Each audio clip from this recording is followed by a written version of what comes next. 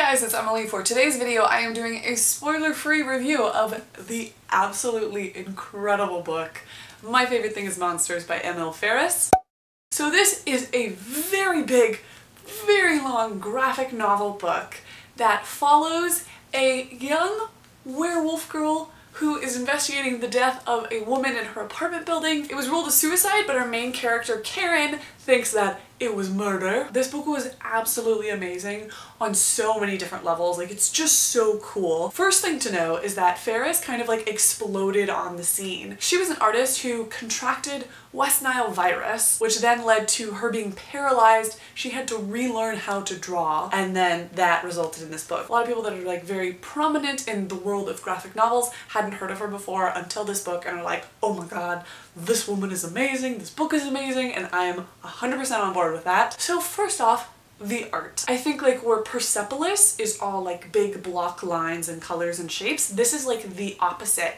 It's all like I don't know if you can see from there and my camera doesn't autofocus otherwise I would bring it forward but all of this is like tiny tiny tiny line work so like this is done in blue and black and a little bit of red and I guess like some green in her earring but it's just like tiny tiny tiny cross cross hatching is that what you call it? I don't really know. It's so intricate and so beautiful and so sometimes you have these gorgeous hyper saturated images but there is also quite a bit of black and white art so like here's an example of what you would see in black and white and this is all done by hand in black pen and it's all done on lined paper and then also a lot of the pages have pops of color. Like here you have like pops of red throughout this image. So the line art in this book is so cool, so beautiful. I absolutely adored it. I will say though, it's confusing to the eye. Like it took me a while to get through this book, not just because it's long, because like long graphic novel is not like a long book. Like you still get through them pretty quickly.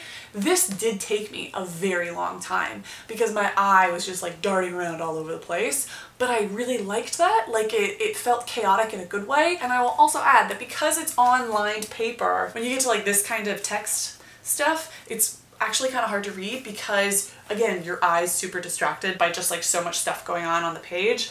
But it's, it's so worth it because you're reading this as if it were Karen's journal. So the lined paper gives it like this cool aesthetic of like, it is actually a journal. It's really neat. It also emphasizes the fact that Ferris is like doing this with pen, which is just like amazing. Sometimes I think you forget like the process that goes into creating graphic novels and the art in graphic novels.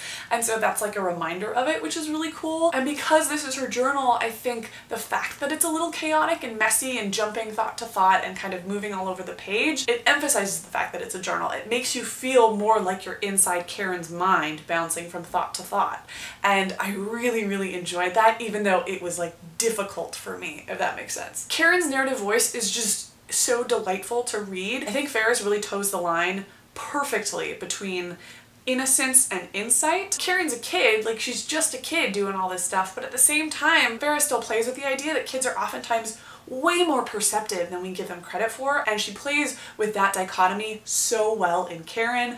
I absolutely loved it. Plus she's so funny and like weird in the best way. And then you have the monster stuff. This isn't like scary. This is like more of the kind of kitschy, campy, old school horror movies is what Karen likes so much. Karen's desire to like be this werewolf girl is rooted in her observation that being a human sucks. Like it blows on so many levels. Like why wouldn't you want to be this dope ass monster? So it plays around with that a lot. And it's this wonderful metaphor that Ferris uses in just multifaceted ways. Like how well she employs it is astounding. You have like the one kind of very obvious coming of age, just general coming of age story. And as you often see with coming of age stories, there is kind of a sexual awakening associated with that. And I don't mean like explicit sex, but just becoming aware of your own sexuality and of your attraction towards other people and how that is an experience that is just like, that's a lot to deal with. And then the monsterness also kind of plays into the fact that in many ways, Karen is aware of her own otherness. She's poor, she's non-white, she's described as a mix of Irish, Native American, and Mexican. Tied to her kind of sexual awakening, there are early hints in the book that she may be somewhere on the LGBTQIA spectrum, which is then delved into later in the book in more detail. To me, it was this incredible, oh, it was just, it was just so well done.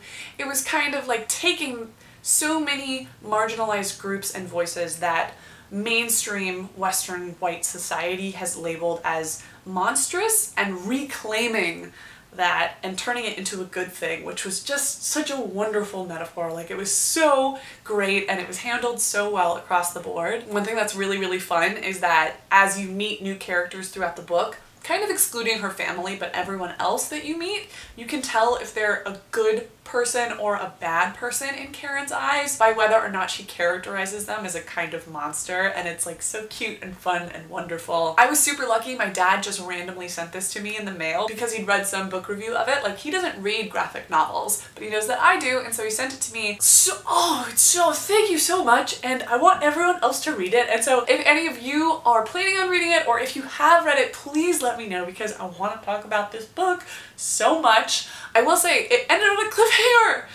Ah, and I know that volume two is coming out in October, but I don't know if that's going to be it for the series or if it's going to be more ongoing or what's going on there, but I cannot wait to get my hands on it. I am actually rereading this. Like that is how much I liked this book. I finished it and immediately started rereading it because it's just that good. It's just so good. Oh, it's so amazing. Like this is, I think now, like a top three book for me. Like top three. I'm still too indecisive to like say number one favorite, but like it's, it's up there. It's up there. I, oh, oof. Even though I'm like making a video about this, I still have a hard time articulating into words how incredible I think this book is and how brilliant I think Ferris is. I am just so excited for more. Thanks so much for watching. If you like this video, give it a thumbs up, hit subscribe to see more of my face, and I will see you next time.